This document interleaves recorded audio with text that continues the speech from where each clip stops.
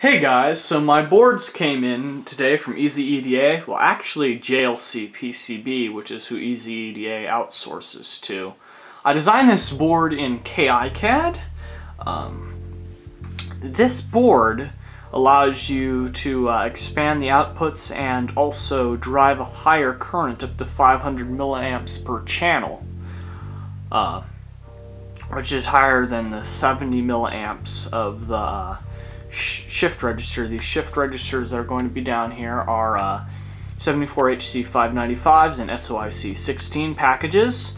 And uh, up here is where the ULN 2003, uh, I'm trying to remember here, there's a suffix to that ULN 2003 ADR. Right here, parallel interface.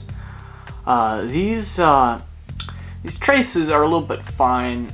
If these if the they cause me problems, I might uh, widen them a little bit, but they don't have a really long run. You'll notice uh, any pad connected to ground has a uh, thermal relief, as does the pads on the ICs, the ground connections. On the back of the board, you'll notice I have a connection guide.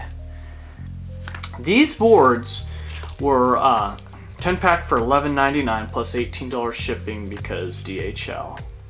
And these boards are quite thick. Uh, they are 1.6 uh, millimeter thick boards.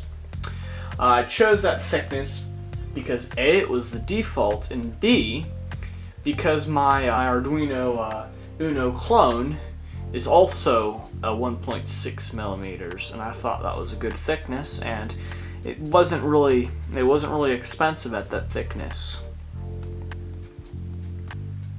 If you notice the cutaway around my name, that is because my name is also written down in the copper layer.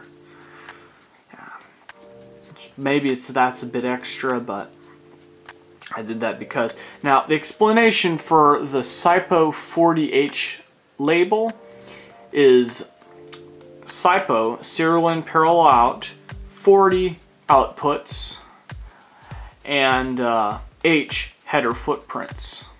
Uh, in fact, the only terminal block on this board right now, it's not, well, technically it's not populated, but this is for the terminal block for the 12 volt bus. And uh, if I redesigned this with a terminal block, I'd call it the SiPo 40T for terminal uh, foot, terminal block footprints.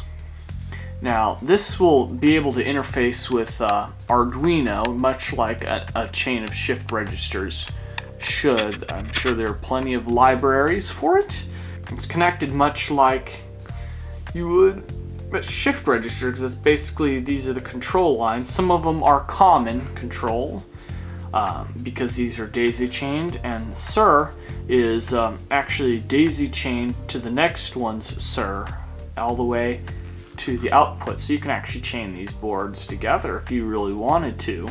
Uh, as this is the same as SIR, but SIR out, so I called it Daisy. Um, they're at the same level, so it's easy to just jumper some wires and solder them all together. Yeah, let me see if I can show you that. So you just jumper some wires across here.